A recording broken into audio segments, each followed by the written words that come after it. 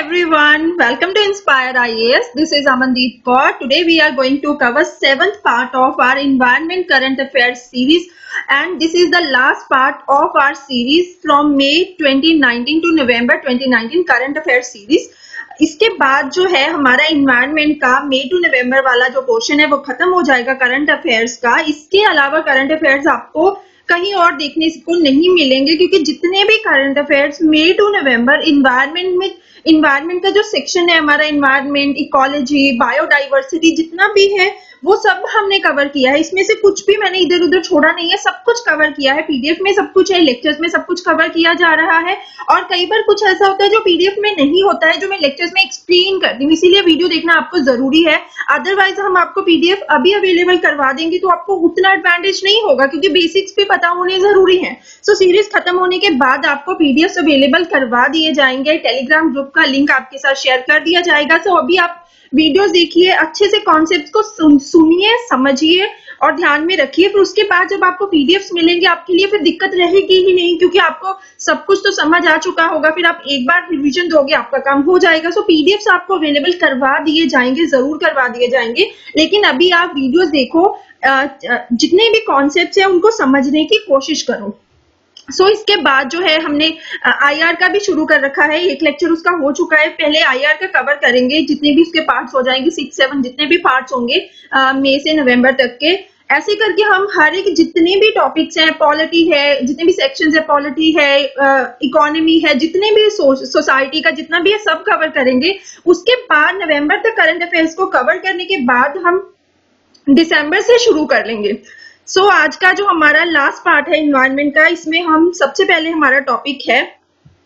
सो so, इसमें सबसे पहले हमारा जो टॉपिक है वो ये है कि आ, एक सी है सरगाजो सी है इसकी लोकेशन यहाँ पे है। यहाँ पे जैसे कि इधर अफ्रीका है इधर नॉर्थ अमेरिका है इधर नॉर्थ अमेरिका है इधर साउथ अमेरिका है और यहाँ पे सरगाजो सी की लोकेशन है। तो ये क्यों क्यों है न्यूज़ में? एक्चुअली इसमें सबसे इंपॉर्टेंट पहले ये है कि इसकी कोई बाउंड्री नहीं है। जैसे ये ओशियन के बीचों बीच है, इसकी कोई लैंड बाउंड्री नहीं है तो कहाँ से पता चलता है कि इसकी बाउंड्री कहाँ है? यहाँ पे गल्फ स्ट्रीम जो है establishes the Sargasso Sea's western boundary तो इसकी जो बाउंड्रीज है, वो करंट जो है जो जितने भी गल्फ स्ट्रीम जैसे अलग अलग करंट्स है, उससे पता चलती है। जैसे कि Gulf Stream establishes the Sargasso Sea's western western boundary while the sea is further defined to the north by North Atlantic current, to the east by the Canary current and to the south by the North Atlantic equatorial current. तो अब इसके बारे में क्या है news में अब ये है कि एक सरगैजो सी वीड एलजी है Sargasso seaweed algae belt है जो कि इंक्रीजिंगली ग्रो कर रही है in Sargasso Sea it is named for a genus of free floating sea called Sargassum so seaweed ये वाला जो सीवीड है, ये एक टाइप का कोई खतरा नहीं है, ये अच्छी बात है, एक टाइप का वरदान साबित हो सकता है for marine life so marine wildlife क्योंकि इसमें ये है कि it will provide habitat for creatures including fish and birds at the same time एक थिक मैट्स जो है uh, जो इस एलजी के uh, होंगे इस सी uh, में इसकी वजह से सनलाइट ब्लॉक होगी थोड़ी बहुत सनलाइट ब्लॉक होगी जो कि एक अच्छी बात है जो हमारे कॉरल रीफ्स होते हैं जैसे उनको बहुत ज़्यादा सन की सनलाइट की ज़रूरत नहीं होती है। तो इस तरह से ये एक बून है जितने भी बर्ड्स हैं वहाँ पे मरीन वाइल्ड लाइफ है। तो इस तरह से आपको याद रखना है। इसके बाद ये है कि while there are many different types of algae है तो सही वहाँ पे लेकिन यहाँ पे इसकी जो सरगैजो यहाँ पे सरगैजो सीवीड एलजी है, इसकी क्या इंपॉर्टेंस है? ये खुद को रिप्रोड्यूस करती है तो ये इसकी सबसे अच्छी बात है। तो आपको पता होना चाहिए सरगैजो सी की लोकेशन क्या है। तो इसकी जो बाउंड्रीज है, वो करंट्स के द्वारा तय किए, की जाती है। और इसमें ये है कि सरगैजो सीवीड के बारे में पता होना चाहिए सरगैजो सी के बारे में पता होना चाहिए। और यहाँ की जो लोकेशन है किस तरह से इसकी बाउंड्रीज बनती है उसके बारे में आपको पता होना चाहिए। सो so, उसके बाद हमारी जो नेक्स्ट टर्म है वो ये है कि ड्रैकेना कैम्बोडियाना ड्रैकेना कैम्बोडियाना हमारी नेक्स्ट टर्म है। कभी भी आप ये टर्म जो है न्यूज़ में थी आपको अगर दे दिया जाए कि ड्रैकेना कैम्बोडियाना क्या है तो नीचे में आपको चार ऑप्शन दे दिए जाएँगे कि क्या है तो आपको पता होना चाहिए तो ये एक ड्रैगन ट्री स्पीशी है। इसकी पिक देखिए आप यहाँ पे। ये एक ट्री स्पीशी है।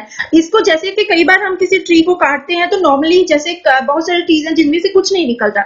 लेकिन कुछ ट्री है जिसमें से मिल्क टाइप एक फ्लूड होता है जो निकलता है।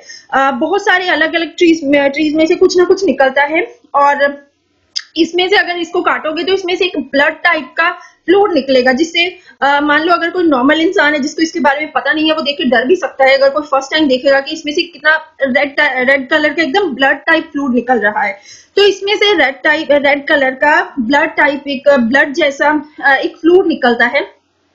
तो ये एक ड्रैगन अगर आपको जैसे कि कभी भी पूछा जाए कि पेपर में अगर बाय चांस जैसे ये क्वेश्चन आ गया या आपने किसी टेस्ट सीरीज़ में देखा ड्रैकेना कैम्बोडियाना तो ये एक ड्रैगन ट्री स्पीशी है जिसको डिस्कवर किया गया है असम में। इसीलिए ये इंपॉर्टेंट है, क्योंकि इसको जो है असम में डिस्कवर किया गया है। रिसर्चर्स ने असम में डिस्कवर किया है इसको ड्रैगन ट्री स्पीशीज को कहाँ पे किया है जो वेस्ट कार्बी एंगलोंग एरिया है जो असम का वहाँ पे इसको डिस्कवर uh, किया गया। और ये पहली बार हुआ है that a dragon tree species has been reported from India इससे पहले कभी ऐसा ड्रैगन ट्री स्पीशीज इंडिया से तो रिपोर्ट नहीं किए गए थे। This is the first time that this has been reported from India so ये एक ड्रैगन ट्री स्पीशी है ओके ड्रैकियाना कैम्बोडियाना एक ड्रैगन ट्री स्पीशी है। सो so, ये इंपॉर्टेंट क्यों है।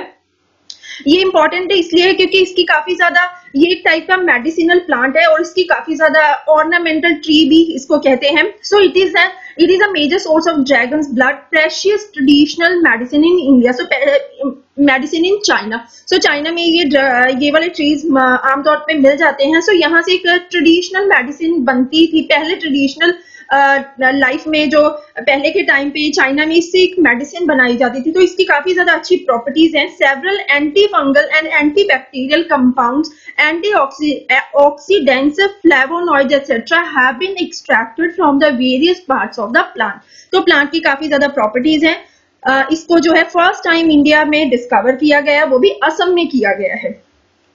सो नेक्स्ट जो हमारा टॉपिक है, वो है टार बॉल्स टार बॉल्स क्या है? टार बॉल्स अगर आपको टर्म दे दी जाए, फिर आपको नीचे स्टेटमेंट दे दिए जाए तो आपको पता होना चाहिए कि टार बॉल्स हैं क्या. Tar balls actually dark coloured sticky balls हैं, जो कि ऑयल से बनते हैं. That form when crude oil floats on the ocean surface कई बार ऐसा होता है कि जैसे ओशियन की सर्फेस है, वहाँ पे जो वेसल्स होती है, जो कैरी करके लेके जाती है ऑयल को ऑयल स्पिल होता है तो वहाँ पे ऑयल स्पिल जो होता है, उसकी वजह से एक स्टिकी बॉल्स बन जाते हैं ऑयल के।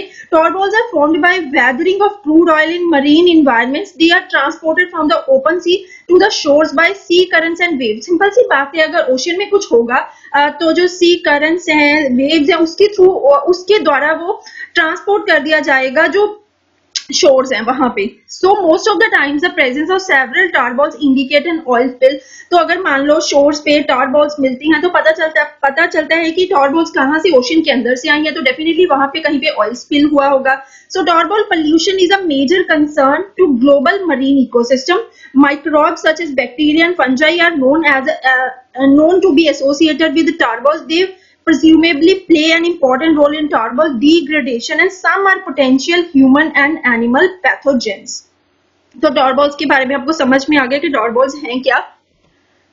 तो यहाँ पे ना हम जो है अभी जो हमारा लास्ट पार्ट है इन्वायरमेंट का यहाँ पे हम ज़्यादातर मिसलिनियस टर्म्स को ही डिस्कस करेंगे जो कहीं ना कहीं आपने न्यूज़ में देखी होंगी या चल रही होती हैं तो हम बहुत सारे मिसलिनियस जितने भी टर्म्स है सबको यहाँ पे कवर करेंगे। सो so, उसके बाद नेक्स्ट टर्म है हमारी Malai Pundu So Malai Pundu also known as scientific इसका नेम है allium sativum so this particular ये एक टाइप का गार्लिक की वैरायटी है सो so एक टाइप का गार्लिक है जिसकी मेडिसिनल एंड प्रिजर्वेटिव प्रॉपर्टीज़ है it is grown in Kodaikanal hills Dindigul district of the Tamil Nadu तो यहाँ पे आपको याद रखना है कि मलाई पुंडू जो है एक गार्लिक की वैरायटी है, जिसके मेडिसिनल एंड प्रिजर्वेटिव प्रॉपर्टीज़ हैं और ये तमिलनाडु में मिलता है।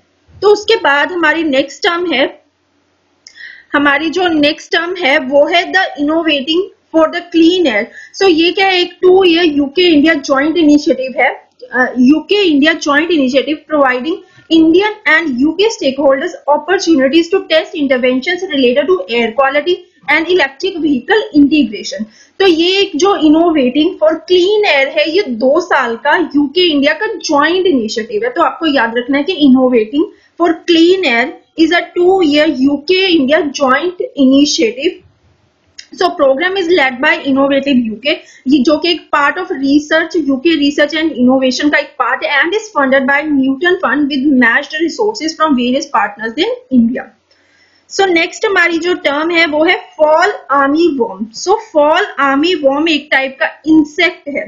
सो फॉल आर्मी बॉम्ब एक टाइप का इंसेक्ट है जो कि नेटिव है to tropical and subtropical region of America it was first detected in central and western Africa in early two thousand sixteen and has now spread across sub Sahara Africa and recently reached Yemen and India तो अभी ये क्या है कि India और Yemen में reach हो चुका है।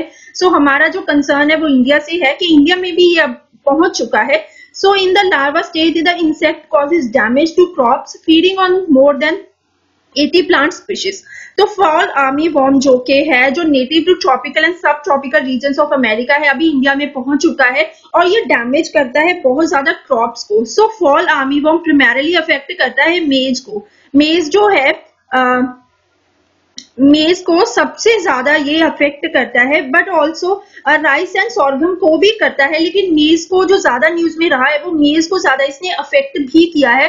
The moth can fly up to 100 kilometre per night and the female moth can lay up to total 1000 eggs in her lifetime so fall armyworm has cause extensive damage damage to maize crop in Tiruchi Karur Perambalur and several other district in Tamil Nadu तो India में क्या है कि मेज की बहुत सारी varieties को मेज को बहुत सारी जगह पे इसने अफेक्ट किया है और वैसे तो इंडिया के और भी जैसे नॉर्थ ईस्ट को में भी बहुत ज़्यादा स्टेट्स में जो है इसने इसने जो है मेज की वैरायटीज को अफेक्ट किया है मेज की क्रॉप को।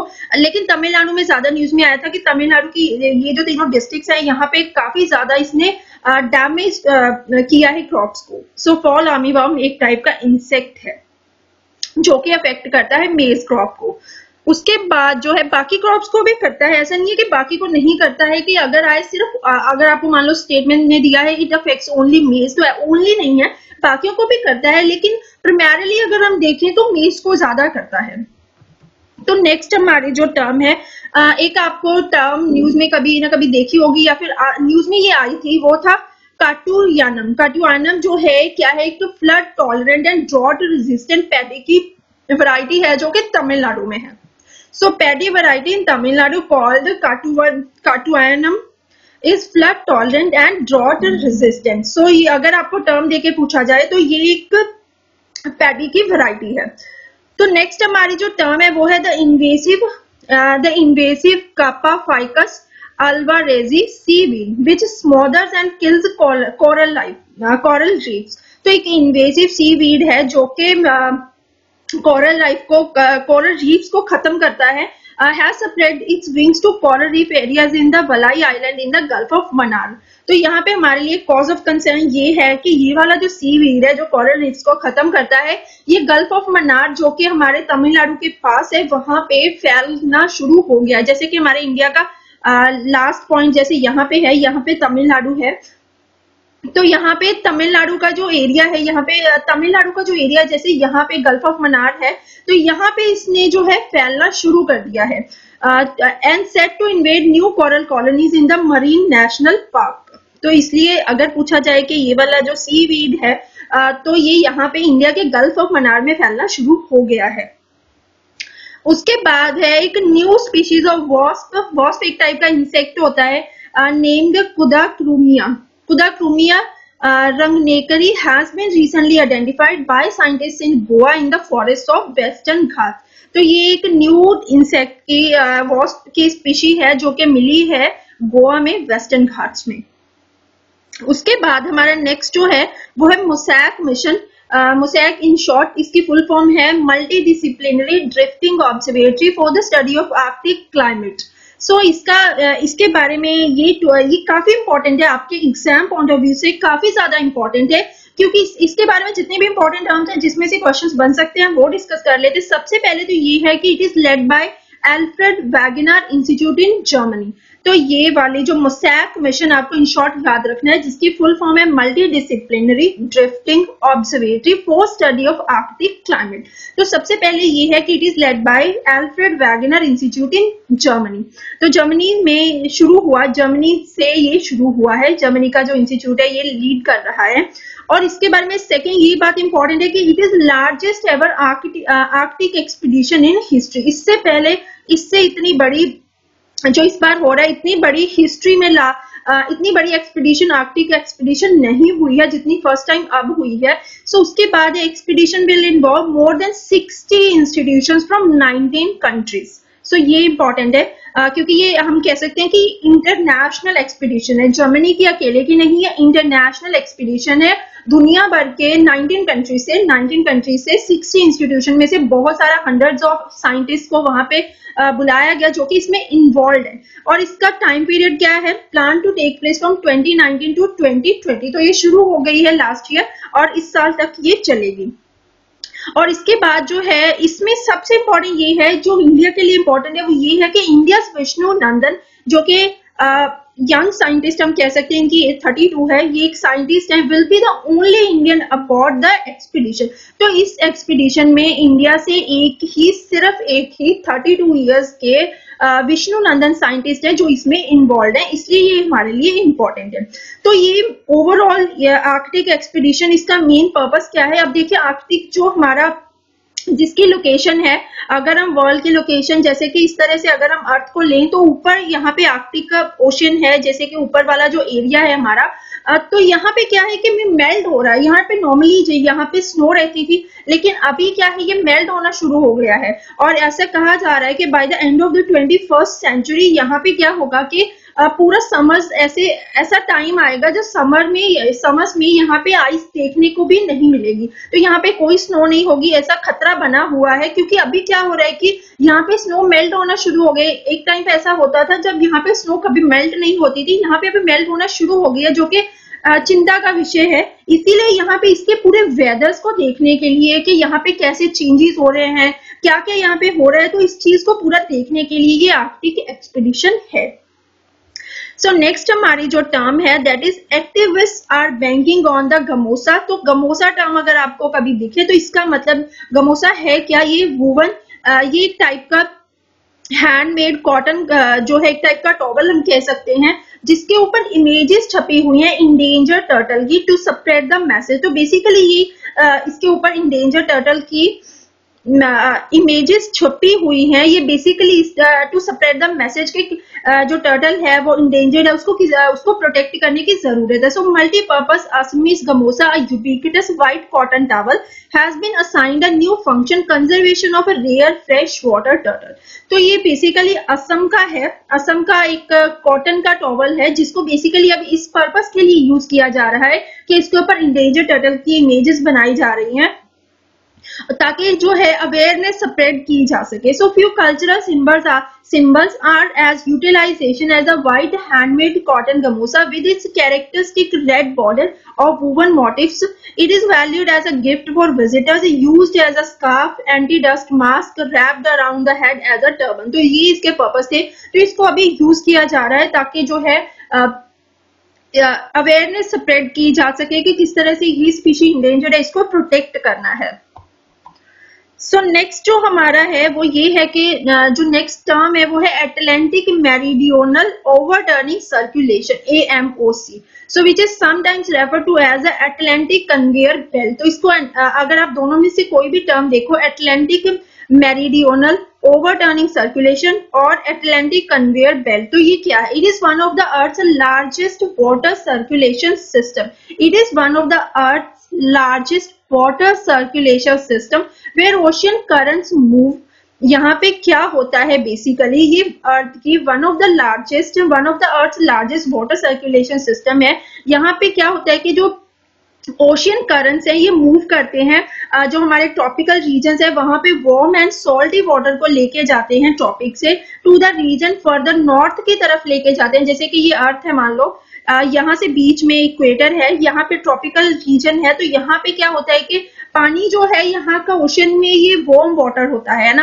तो यहाँ पे करंट के थ्रू इसको जो है ऊपर नॉर्थ की तरफ़ लेके जाया जाता है। तो ऊपर नॉर्थ में क्या होती है? ठंड होती है, यहाँ पे कोल्ड वाटर्स मिलते हैं तो यहाँ पे इसको ऊपर तक लेके जाया जाता है करंट्स के through such as western Europe and sends colder water south तो ऊपर से क्या होता है कि जैसे करंट्स मूव करते हैं, नीचे से इक्वेटर से जो जो वार्म वाटर है, उसको नॉर्थ में लेके जाया जाता है। जब वापस आते हैं तो ऊपर से कोल्ड वाटर को ट्रॉपिक्स रीजन की तरफ़ लेके आया जाता है। तो it is in distributing heat and energy around the earth तो जो एटलांटिक मेरिडियोनल ओवरटर्निंग सर्कुलेशन है, इसके थ्रू क्या होता है कि डिस्ट्रीब्यूट करता है heat and energy around the earth okay as the warm water it carries releases heat into atmosphere तो क्या होता है? जो वार्म वाटर ये कैरी करता है, इसकी वजह से हीट जो है एटमोस्फेयर में रिलीज़ होती है and in absorbing and storing atmospheric carbon so for thousands of years ये वाला जो सिस्टम था circulation has remain stable but since the past 15 years it has been weakening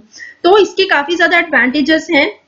लेकिन अभी ये वीक हो रहा है, इसकी वजह से दिक्कत हो रही है और इसको पता कैसे लगाया गया development development that could have dramatic consequences for Europe and other parts of the Atlantic rim so researchers कहाँ से आए थे? Researchers from Scripps Institution of Oceanography at the University of California San Diego and Yale University found that इन्होंने find out किया है that rising temperatures in the Indian Ocean can help boost the can help boost Atlant uh, Atlantic meridional overturning circulation and delay slowdown.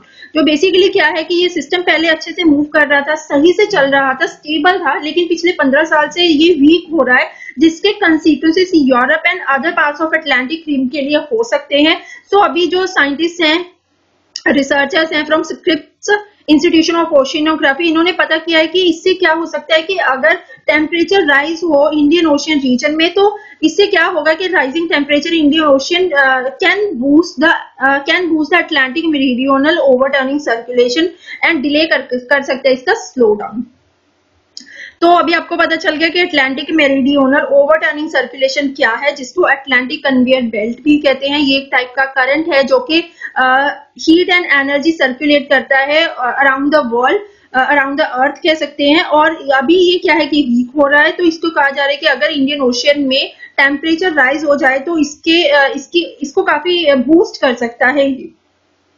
So so, उसके बाद जो है lightning strikes अगली जो news है वो ये है कि lightning strikes have caused at least thirteen hundred eleven deaths in the four months period between April and July in 2019 so so, 2019 में अप्रैल टू जुलाई के बीच में इतनी लाइटनिंग स्ट्राइक्स हुए हैं इतने डेथ्स हुए हैं लाइटनिंग स्ट्राइक्स की वजह से इतने डेथ्स हुए हैं तो इसमें ये कि it has been prepared by Climate Resilient Observing Systems Promotion Council a non profit organisation that works closely with Indian Meteorological Department so जो इंडियन मेटियोरोलॉजिकल डिपार्टमेंट है, जो कि सेंट्रल गवर्नमेंट के अंडर है, इसके अंडर एक, इसके साथ मिलके जो है एक एनजीओ है जो काम करता है, जिसका नाम है Climate Resilient Observing Systems Promotion Council तो इसने पता किया है कि, इसने एक रिपोर्ट प्रिपेयर किया, जिससे पता चला है कि लाइटनिंग स्ट्राइक्स ने सिर्फ़ चार चार महीने में ही इतने लोगों को आ, लोगों की डेथ का रीजन बनी है। तो इसमें कितना है? ये तो इतना इंपॉर्टेंट नहीं होता है कि हम ये याद रखें कि it counted 65.55 lakh lightning strikes in India during this four months period इतना सिर्फ़ आपकी नॉलेज के लिए थोड़ा बहुत है लेकिन इतना ये फिगर आपको याद नहीं रखना इतना इंपॉर्टेंट नहीं है इसमें से इतना क्वेश्चन नहीं बनता है।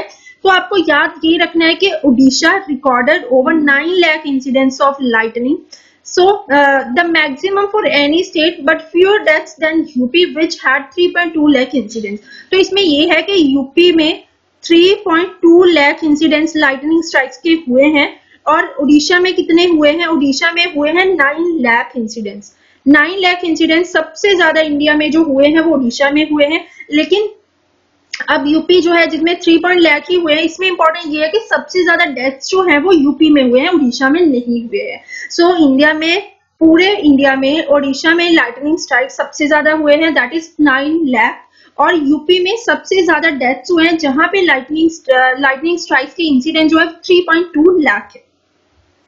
सो so, नेक्स्ट जो है हमारा वो है एक रिवर जो काफ़ी न्यूज़ में थी लिटन रिवर सो ये रिवर जो है in East Jaintia Hills in Meghalaya में है. कभी इसके बारे में कोई क्वेश्चन बने तो ये East Jaintia Hills in Meghalaya में है. उसके बाद है शैतुष शैतुष क्या है? Also known as shahtoosh a Persian word word meaning king of the fine wools ये एक नेम है जो कि एक शॉल है एक टाइप का शॉल है जो विमेन वियर करते हैं पहनते हैं ओढ़ते हैं बेसिकली सो so, ओढ़ने के लिए एक टाइप का शॉल है जिसका नाम है shahtoosh which is woven with the down hair of the Tibetan antelope chiru कहते हैं जिसको एक इंडेंजर्ड uh, एनिमल है जिसकी uh, जिससे ये बनाया जाता है by craftsmen and women uh, women of Kashmir. So shawl is now banned item so news में इसलिए क्योंकि अभी इसको बैन कर दिया गया है। बैन करने का रीजन क्या है? With possession and sale being illegal in most countries for the क्योंकि चीरू जो है वो इंडेंजर्ड है। चीरू एक इंडेंजर स्पीशीज है अंडर द साइज़ कन्वेंशन तो इसको अगर इससे अगर शॉल्स बनते रहेंगे बनते रहेंगे तो ये तो एक दिन खत्म ही हो जाएगा। इसलिए इसकी जो आ, सेल है उसको इलीगल बोल दिया गया अब कोई भी इसको सेल करेगा तो वो इलीगल एक्ट होगा। However, the wearing of shahtoos shawls continues in secret in Kashmir, India due to high demand by western buyers. अब ये तो हमें अंडरस्टूड है कि कोई चीज़ को बैन कर दिया गया तो वो डेफिनेटली सीक्रेसी में चलती रहेगी, वो कम्प्लीटली बैन नहीं होती, क्योंकि इंडिया में यही दिक्कत है। अगर कुछ लॉ पास कर दिया जाए, जाता है तो हमारे लोग क्या करते हैं, उनको लॉ फॉलो नहीं करने हैं। जैसे कि जैसे कि इंडिया में लोग समझते हैं कि लॉ ना फॉलो करना हमारा जन्म सिद्ध अधिकार है। लोग यहाँ पे यही समझते हैं बेसिकली कि लॉ को ना मानना हमारा जन्म सिद्ध अधिकार है और लॉ अगर बन गया है तो जैसे कि ना गवर्नमेंट तो उनकी अगेंस्ट ही है। गवर्नमेंट जो भी करती है, उनके अगेंस्ट ही करती है। इसलिए हमें गवर्नमेंट की बात सुननी ही नहीं है। तो इसलिए कुछ भी यहाँ पे बैन होता है, लोग मानते नहीं है। इसीलिए यहाँ पे लॉज इतने यू नो जो है लॉज इतने ज़्यादा यहाँ पे कमज़ोर है और थोड़ा बहुत पुलिस वाले को ब्राइब किया तो काम चल जाता है। तो हम जो है, हमें सिटीजन होने के नाते ये बात को समझना चाहिए कि अगर कोई चीज़ को बैन किया गया तो सोच समझ के किया गया है। तो इस तरह से लॉज को फॉलो करना चाहिए। लेकिन फिर भी अब क्या है कि इंडिया में आ, पैसे बनाने के चक्कर में क्योंकि इसकी काफ़ी ज़्यादा डिमांड है तो अभी भी ये बिक रहा है। तो उसके बाद हमारी नेक्स्ट टर्म जो है नेक्स्ट टर्म हमारी है कृष्णा राजा सागर। तो कृष्णा राजा सागर क्या है? ये एक टाइप का ये एक लेक है and the dam that creates it so ये एक लेक और डैम का नाम है कृष्णा राजा सागर ये बेसिकली है कहा? ये कर्नाटका में है। ये एक टाइप का ग्रेविटी डैम है made of the surki water is below the confluence of river Kaveri with its tributaries Hemavati and Lakshmana Tirtha so ये कर्नाटका में है ये एक, एक लेक एंड डैम है। सो so, उसके बाद जो है नेक्स्ट जो है कलेश्वरम लिफ्ट इरिगेशन प्रोजेक्ट तो कलेश्वर लिफ्ट इरिगेशन प्रोजेक्ट काफ़ी न्यूज़ में है।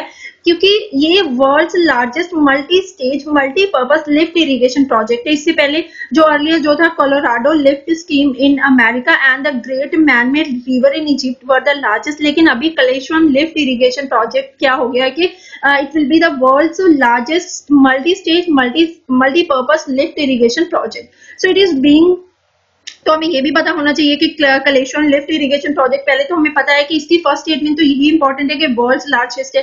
सेकेंड हमें पता, पता होना चाहिए कि कौन सी रिवर के ऊपर है ये। It is been build across Godavari river so it will harness a water at the confluence of two rivers by Godavari by constructing a barrage at Medigadda in Jayashankar Medi Medigadda in Jayashankar Bhupal pai pai Bhupalpally district in Telangana तो ये Telangana state में है। It will divert water through its lift and pumps into huge and complex reservoirs, water tunnels, pipelines and canals. It also includes the longest irrigation tunnel in the world. तो ये important है।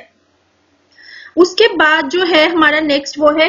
Recently union government has approve the Kosi Mechi river interlinking project तो अभी important ये इसलिए है क्योंकि ये कंट्री का second major river interlinking project है after the Ken Betwa of MP तो यहाँ पे क्या है कि जो सबसे पहले सबसे पहले तो इंटरलिंकिंग के बारे में यही है कि रिवर इंटरलिंकिंग में क्या होता है कि जैसे कि एक रिवर में सरप्लस वाटर है, दूसरी रिवर में डेफिसिट वाटर है तो डेफिनेटली दोनों एक की वजह से फ्लड आ रहे हैं, एक में ड्रॉट पड़ रहे हैं तो कितनी दिक्कत है? तो दोनों को मिला दिया जाना चाहिए, ताकि एक का सरप्लस वाटर कैनल्स के थ्रू ये काम होता है, अब रिवर्स तो जहाँ पे है, वहाँ पे है तो कैनल्स बनाए जाते हैं, दोनों रिवर को जोड़ दिया जाता है with the help of the canals तो कैनल जो है सरप्लस वाटर जहाँ पे होएगा जिस रिवर में वो कैनल के थ्रू जो डेफिसिट रिवर है उसमें चला जाएगा। तो इस तरह से एक बैलेंस क्रिएट हो जाएगा जिसके एडवांटेजेस ही एडवांटेजेस हैं बहुत ज़्यादा लेकिन इसके प्रोजेक्ट के काफ़ी कुछ नुकसान भी सामने आए थे। जैसे इन्वायरमेंट को नुकसान है क्योंकि अब जो है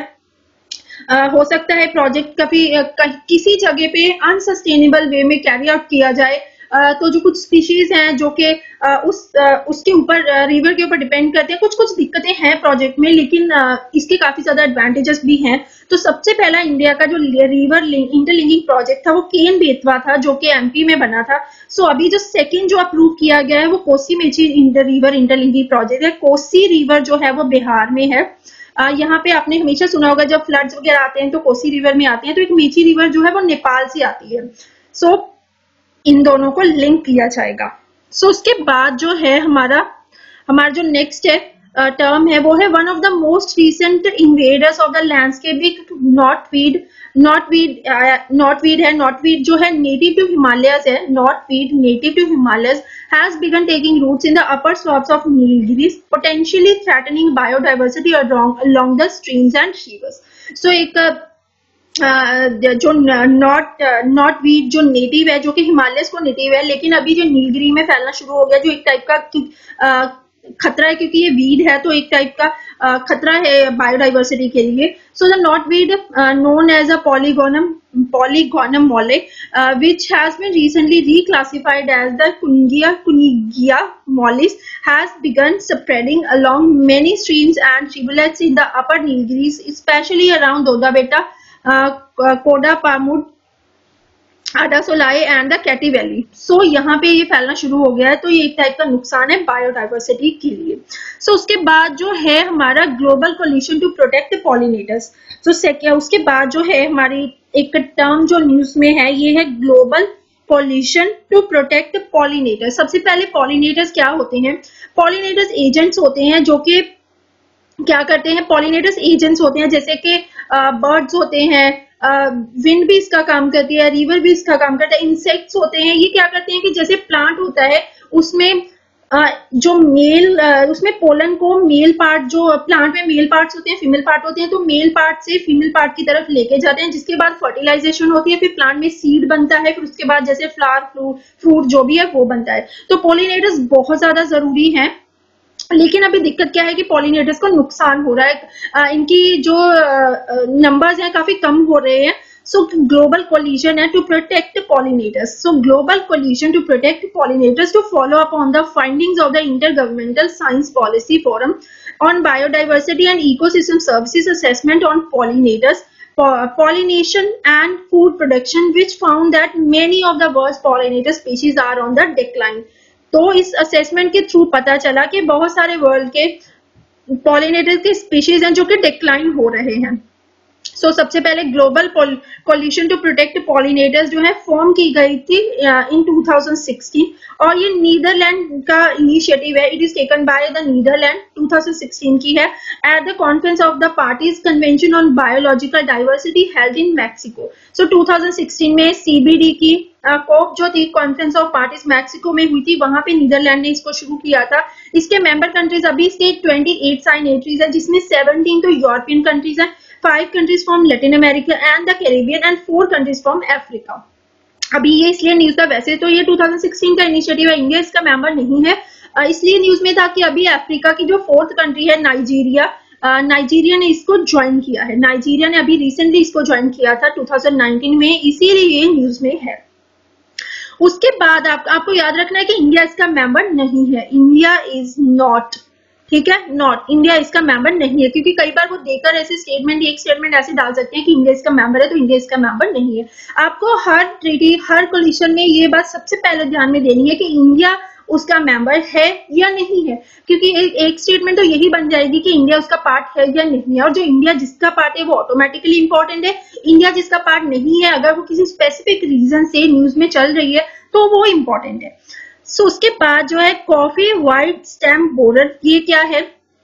It is a serious pest तो ये एक serious pest of arabica coffee causing loss up to 40 percent in all coffee growing areas in India तो इंडिया में ये कॉफ़ी के लिए काफ़ी नुकसान है कॉफ़ी प्लांट के लिए काफ़ी uh, की जो यील्ड लॉस है वो 40 परसेंट तक हो चुका है। It is a blackish brown coloured beetle measuring about two centimetre का ये बीटल है in size three pairs of white stripe running obliquely around, across the wings.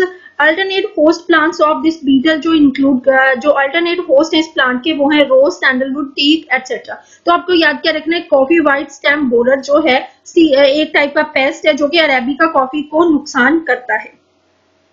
उसके बाद है plan B so plan B वैसे तो नवंबर 2017 का है, लेकिन अभी ये न्यूज़ में इसलिए था 2019 में क्योंकि अभी इस प्लान को काफ़ी सक्सेस मिली है। तो ये प्लान क्या है? सबसे पहले तो प्लान बी इसको देखकर कभी हम सोच सकते हैं कि शायद हो सकता है ये इन्वायरमेंट मिनिस्ट्री का हो, लेकिन ये इन्वायरमेंट मिनिस्ट्री का नहीं है, ये रेलवेज का है।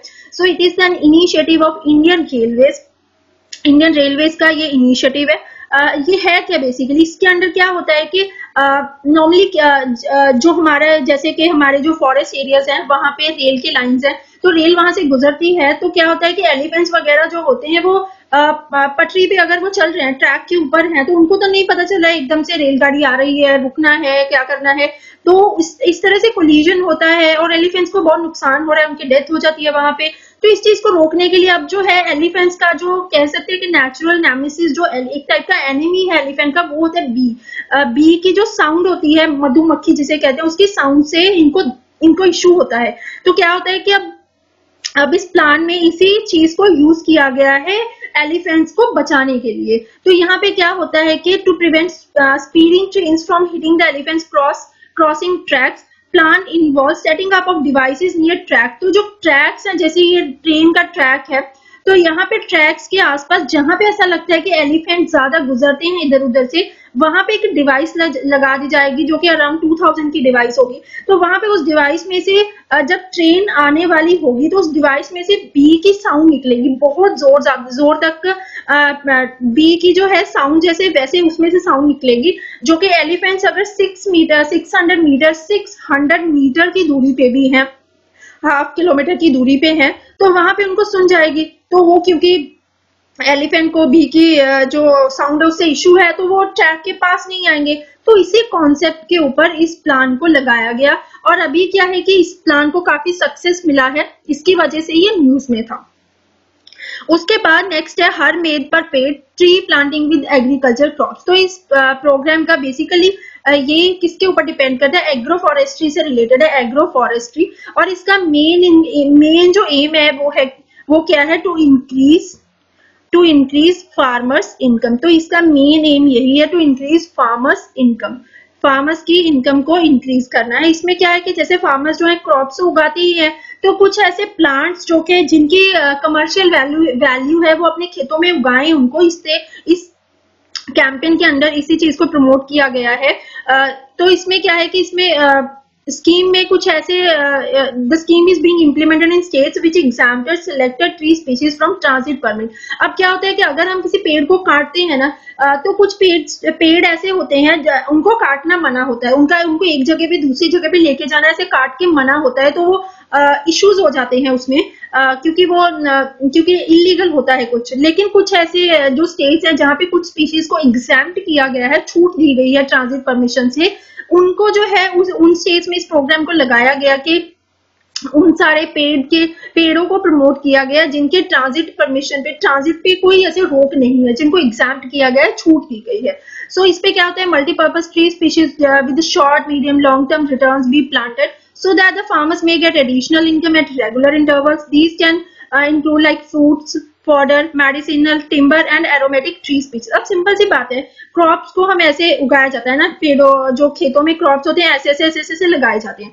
तो एक क्रॉप को अगर आप मान लो आप आप खींचोगे तो उसमें से कितना सा मान लो राइस किया कितना सा राइस निकलेगा? थोड़ी से दाने निकल जाएँगे है ना? आ, लेकिन मान लो उसी खेत के आसपास हम यहाँ पे पेड़ लगा देते हैं थोड़ी थोड़ी स्पेस बाद मान लो ऑरेंज के पेड़ लगा देते हैं या फिर मैंगो के लगा देते हैं तो एक पेड़ पे कितनी स्पेस लेता है एक पेड़? आ, कितनी स्पेस लेता है? थोड़ी सी पेड़ की तो उतनी ज़्यादा स्पेस नहीं लेता है ना? क्योंकि वो लंबाई में ऊपर ज़्यादा होता है तो ऊपर जाके वो फैलता है उस पर फ्रूट्स वगैरह लगते हैं। आ, तो ऊपर से अगर हम फ्रूट देंगे तो कितने सारे फ्रूट्स लेते लगते हैं जिनको बेच के जो है फार्मर्स जो है अपनी एडिशनल इनकम जो है उनकी हो जा हो जाएगी वहाँ पे। इसी कॉन्सेप्ट के ऊपर ये कैंपेन है।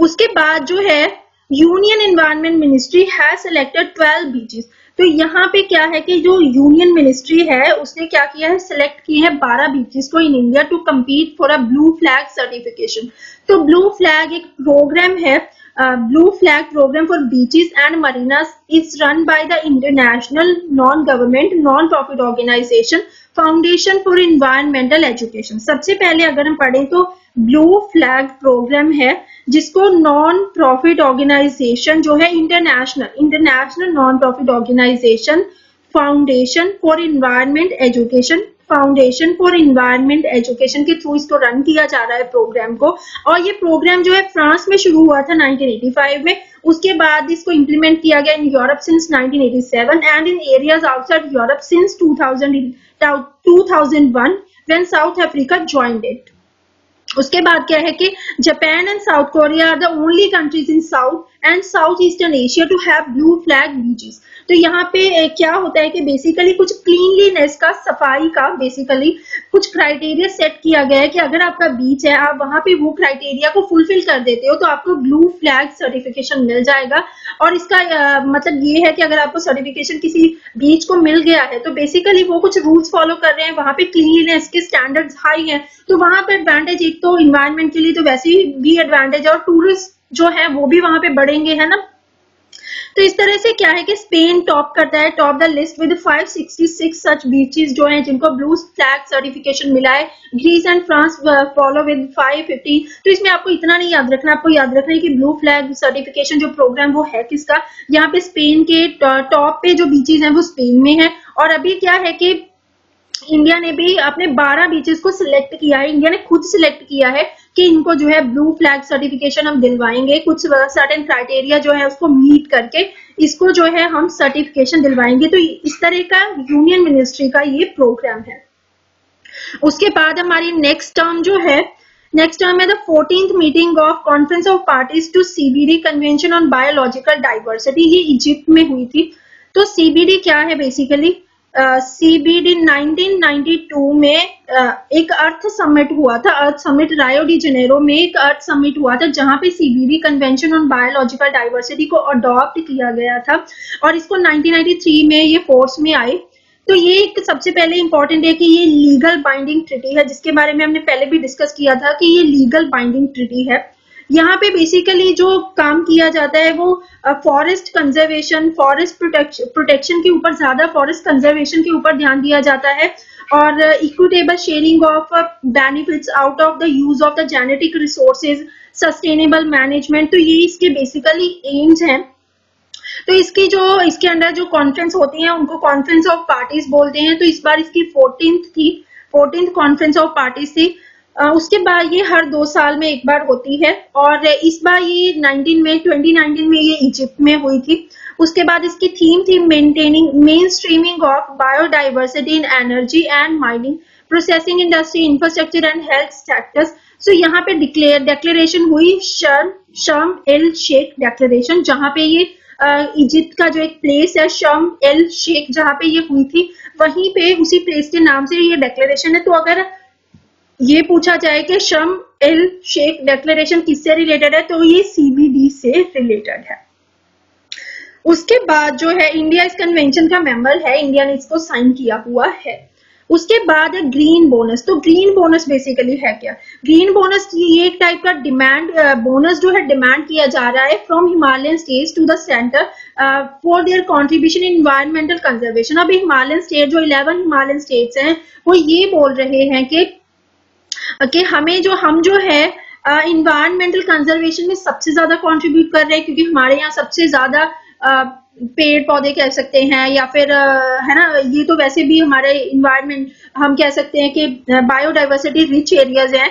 तो यहाँ पे ये कह रहे हैं कि अभी हम इतना प्रोटेक्ट करें तो आप हमें ग्रीन बोनस दो। So eleven states belonging to Indian Himalayan region sought green bonus from the standard considering their contribution in environmental conservation so so, अभी सेवन स्टेट जो है एट तो हमारे जो नॉर्थ ईस्टर्न जो एट जो हमारे बोलते हैं जिसको seven sister state plus one brother जो कि सिक्किम है एट तो ये वाले हो गए उसके बिना एचपी हो गया। उत्तराखंड हो गया जम्मू कश्मीर। अभी लेकिन जम्मू कश्मीर स्टेट नहीं रहा है लेकिन तब जब का ये न्यूज़ है उससे तब जम्मू कश्मीर एक स्टेट ही था लेकिन अभी जम्मू कश्मीर टेरिटरी बन गया दो पार्ट्स में डिवाइड होकर दो टेरिटरीज बन गए हैं। सो उसके बाद जो नेक्स्ट हमारा है recently the ministry of new and renewable energy has declared ocean energy as renewable energy अभी जो ओशियन एनर्जी है, उसको रिन्यूएबल एनर्जी डिक्लेयर कर दिया गया है। क्यों किया गया है? क्योंकि इसका बहुत ज़्यादा थ्योरेटिकल पोटेंशियल पोटेंशियल है like one lakh eighty thousand megawatt in India subject to suitable technological evolution अगर हमारे पास कोई प्रॉपर टेक्नोलॉजी है तो हम इतनी एनर्जी प्रोड्यूस कर सकते हैं one lakh eighty thousand megawatt so the total identified potential of tidal energy is about twelve thousand इतना नहीं याद रखना है आपने, ये वाला जो सब पार्ट्स होते हैं, ये नहीं याद रखने। लेकिन पोटेंशियल लोकेशंस कहाँ कहाँ पे हैं? Like Khambhat and Kutch region जो कि गुजरात का है। And large back waters where barrel technology could be use the total theoretical potential of wave energy India along the country's coast is estimated to be forty thousand megawatt तो ocean energy को अभी renewable energy के under ले लिया गया है। उसके बाद नेक्स्ट है a step towards productive utilisation of bauxite residue commonly known as red mud अब क्या होता है कि जब एल्यूमिनियम को प्रोड्यूस किया जाता है तो एक बेयर प्रोसेस है तो उसको बॉक्साइट से प्रोड्यूस करते हैं। बॉक्साइट से जब एल्यूमिनियम को प्रोड्यूस किया जाता है कि तो एक सॉलिड वेस्ट जनरेट होता है, जिसको रेड मड बोलते हैं। रेड मड जो एक सॉलिड वेस्ट है, जो कि एल्यूमिनियम बनाते वक्त और एल्यूमिनियम की प्रोडक्शन के दौरान बॉक्साइड जो रेजिड्यू है, वहाँ से बनता है। सो अभी क्या है इसके ऊपर एक इंटरएक्टिव वर्कशॉप हुई थी। वर्कशॉप का नाम था जैसे वेस्ट टू वेल्थ ऑर्गेनाइज कराई थी मिनिस्ट्री ऑफ़ माइंस ने। तो वहाँ पे फोकस किया गया है कि रेड मर्ड जो है, अभी एक टाइप का वेस्ट है, लेकिन इसका जो है, हम प्रॉपरली अगर इसको यूटिलाइज करें तो वेस्ट टू वेल्थ की तरफ़ हम बढ़ सकते हैं। उसके बाद जो नेक्स्ट है नेक्स्ट है India will India will launch India will launch its ambitious deep ocean mission to enter hitherto untapped 75,000 square kilometer of area in international waters to tap vast uh, vast marine resources. तो क्या होता है कि जैसे कोई country है तो country के जैसे कि आसपास का जो उसका जो इकोनॉमिक जोन्स होते हैं एक्सक्लूसिव इकोनॉमिक जोन होते हैं जो कि 200 नॉटिकल माइल्स तक जाते हैं। तो यहाँ पे क्या है कि उसके बाद का जो होता है वो इंटरनेशनल वाटर्स होते हैं इंटरनेशनल वाटर्स जहाँ पे किसी भी एक कंट्री का रूल नहीं होता है। तो यहाँ पे क्या है कि इंडिया ने अपना एक ambitious deep ocean mission launch किया है। जिससे कि इंटरनेशनल वाटर में से वाटर्स में से मरीन रिसोर्सेज को टैप किया जाएगा। सो so, मिशन जो ये वाला aims to explore the depths of the ocean for possibilities of deep sea mining deep sea mining के ऊपर फोकस किया जाएगा। It would be an integrated programme with several scientific departments of government involve तो ये एक ही department का काम नहीं है। काफ़ी सारे हमारे जो साइंटिफिक डिपार्टमेंट्स हैं उनको इन्वॉल्व किया जाएगा। जैसे कि इसरो हो गया department of biotechnology department of science and technology DRDO होगा हो गया हमारा। Uh, उसके बाद हमारा जैसे Indian Council of Agriculture Research है सब मिलके काम करेंगे for sustainable harnessing of ocean resources so focus कहाँ पे रहेगा on technologies for deep sea mining क्योंकि अब डीप सी माइनिंग करनी है तो हमें टेक्नोलॉजीज़ की भी ज़रूरत है। Technologies such as under water vehicles हो गए under water robotics and ocean climate change advisory services among others So the uh, two key projects planned under this include a desalination plant जो दो key projects plan किए गए सबसे पहले desalination plant uh, powered by tidal energy and a submersible vehicle that can explore depths of at least 6000 meters.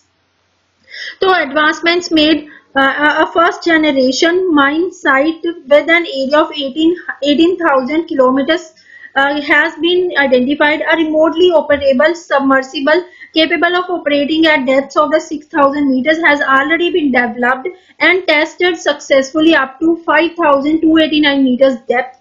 Besides, a remote, uh, remotely operable in-situ soil testing equipment has been developed for getting detailed geotechnical properties of the mining area at the central Indian Ocean Basin.